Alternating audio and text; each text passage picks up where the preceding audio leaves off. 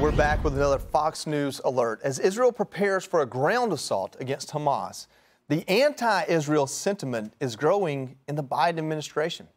Biden's former special envoy to Iran has lost his security clearance, and another warning from T- Senator Ted Cruz.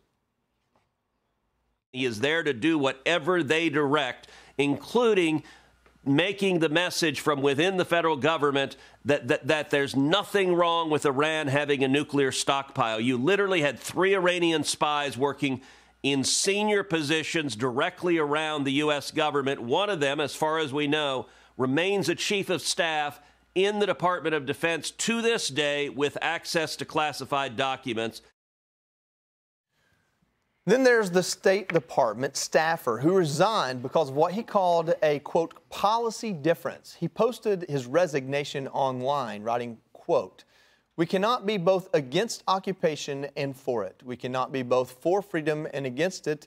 And we cannot be for a better world while contributing to one that's materially worse. That same staffer helped clear the way for weapons worth billions to go to Ukraine. He didn't seem to have any qualms about supporting that aid. The post from his LinkedIn says that he was, quote, immensely proud to be part of this team and exhausted, slightly exhausted, but mostly proud. Griff, I want to go to you first. so this guy's name, his name is Josh Paul, and there's some reporting on it, and I want to pull this up. This is a uh, New York Times article by Josh Ismay. It says State Department official resigns over arms transfer to Israel. Here's the quote we have uh, from the article. It says, in an interview, Mr. Paul said that Israel's cutting off of water, food, medical care, and electricity to Gaza, a territory of 2 million people, should prompt protections in a number of long-standing federal laws intended to keep American weapons out of the hands of human rights violators, but those legal guardians are failing, he said. Griff, does he have a point?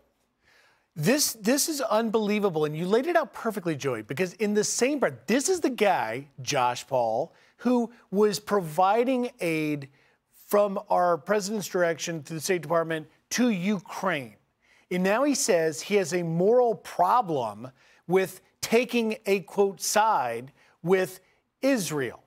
And in this very same breath, this guy who said he was there for 11 years, saying that he can't take a side, took a side in Ukraine. But somehow he lacks the moral clarity to understand that we have not seen in any of our lives the level of human depravity that was carried out by Hamas with beheading babies, raping teenagers to the point that their pelvic bones broke, taking Holocaust survivors back hostage. And this guy has a moral compromise Jill. with taking a side. I, I, first of all, for anyone to talk about this war and talk about taking sides, whoever takes the side of terrorists is a freaking terrorist themselves. All those people that are protesting here in Brooklyn, pro Palestinian protests, they are are protesting against Jews. That's what they are. It's anti Semitism at its very worst. It's absolutely disgusting. And they're promoting terrorism. And the fact that it's even allowed, and I understand people have the right to protest and the right to free speech, but when you are promoting terrorism on the ground here in the United States, considering the fact that we just talked about yesterday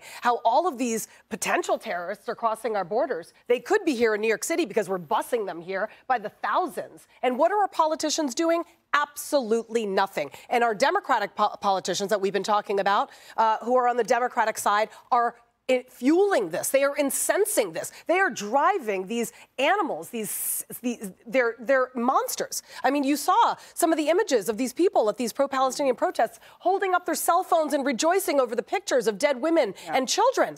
And this is happening here in New York City. Yeah. Katie, uh, to go back to that Ted Cruz uh, video, we have people in the Biden administration who one one that still has Social Security clearance, right. another one, Rob Malley, who has it suspended on suspicion of essentially spying for Iran yeah. on our government. This is a Biden uh, administration problem. He's under investigation by the FBI. The woman who works at the department at the Department of Defense, she still has her security clearance, even though there is email traffic with her talking to the IRGC about sensitive information. So that says a lot about their policy towards Iran. But when it comes to the State Department, uh, people should understand that it, it, most of the career officials there who work there are a problem, much like they are at the UN. And they actually make peace more difficult by prolonging wars, by taking the wrong side. In this case, complaining or taking the side of the Israelis. This is exactly what's happening when it comes to the demands from these people inside the State Department that more aid be pushed into Gaza. What do I mean by that?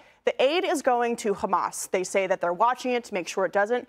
Hamas controls terrorists, control everything in the Gaza Strip, the hospitals, the food banks.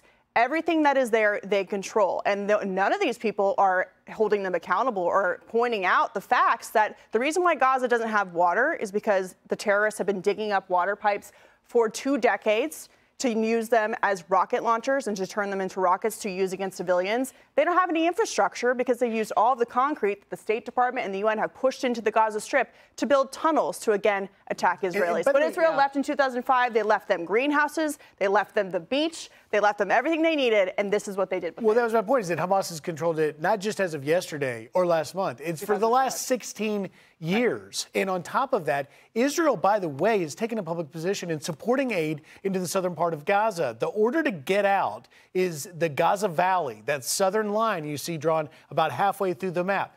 Go south yeah. if you don't want to be in this conflict Listen, because we're coming. I think what we what we understand here is the Biden administration does have a problem, an ideological problem, but it's a problem that goes into our universities and into our culture. It's it is an ideological wormhole in our country that we have to understand that evil is evil and an ally protecting itself is not. Hi, everyone. I'm Brian Kilmeade. I want you to do me a favor. I want you to click to subscribe to the Fox News YouTube page. This is the only way that I know for sure that you're not going to miss any great commentary, any great news bites, any great interviews coming your way on Fox. You can get it all here on YouTube. So subscribe right now.